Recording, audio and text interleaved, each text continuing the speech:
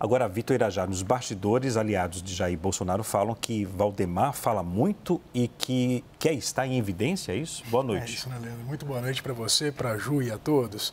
Há um incômodo claro, né, Leandro, em relação a essas falas recentes de Valdemar da Costa Neto e essa chancela pública, uma defesa em relação a uma possível candidatura de Tarcísio de Freitas ao Palácio do Planalto em 2026, apesar de essa possibilidade ser rechaçada pelos principais aliados de Tarcísio de Freitas dentro do Palácio dos Bandeirantes. O que me disseram alguns aliados ali, pessoas importantes do governo com quem eu conversei, é que ah, há uma intenção muito maior de Valdemar da Costa Neto de levar Tarcísio de Freitas para o PL nesse flerte, que já dura inclusive mais de um ano, do que um interesse uh, de Tarcísio de Freitas em sair do Republicanos e embarcar nessa empreitada desejada e ensejada por Valdemar da Costa Neto. Isso porque há uma avaliação, inclusive, isso já foi inclusive citado publicamente pelo secretário de governo Gilberto Kassab, que também é o manda-chuva do PSD e ocupa um cargo de uh, muita importância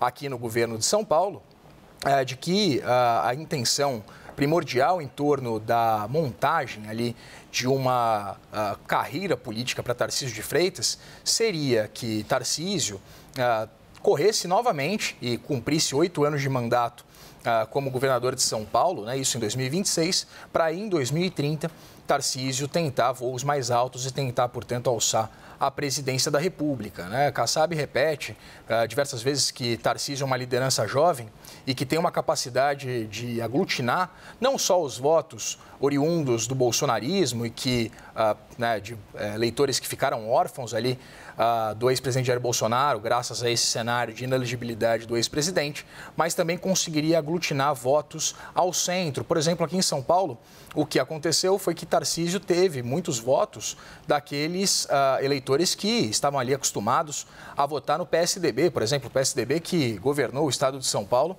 por mais de 20 anos. Né? Então, Tarcísio viu que teve um contingente eleitoral significativo que escolheu a sua candidatura, uh, por exemplo, preterindo ali a candidatura de Rodrigo Garcia, o ex governador uh, de São Paulo, que era do PSDB. Agora, Vitor, há nos bastidores é, quem diga que o Tarcísio de Freitas pode sim ir para o PL e só estava esperando a eleição passar. Pode sim, né? Existe essa conversa, Leandro, e essa conversa ela não é nova.